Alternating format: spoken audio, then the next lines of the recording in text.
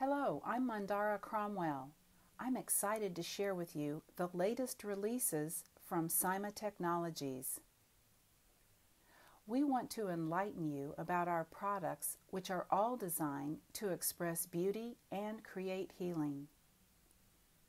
Last year, we introduced you to a Sound Made Visible video, the Soundflower Experience.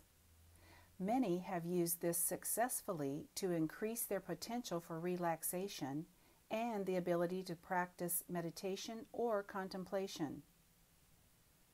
Now I'm here to offer you some other exciting tools which can be used alongside the Soundflower experience and with our most popular product, the AMI 750.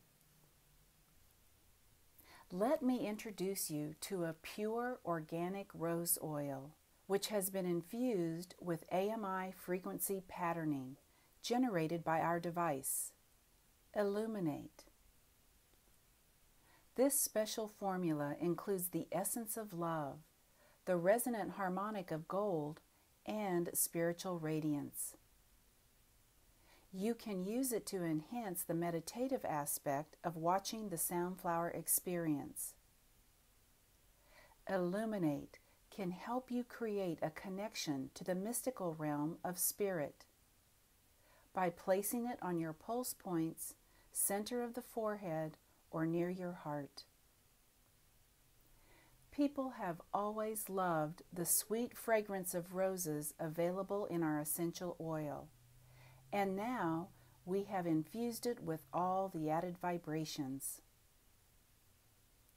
This product will be much desired by healers, spiritual practitioners, and anyone making an expression of love.